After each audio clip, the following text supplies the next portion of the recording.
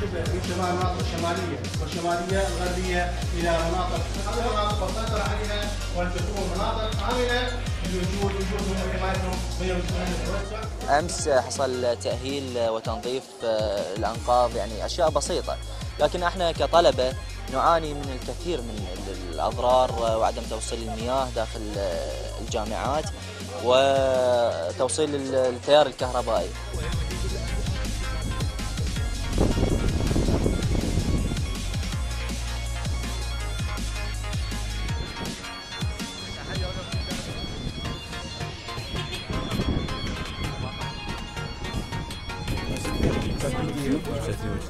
كل العراق.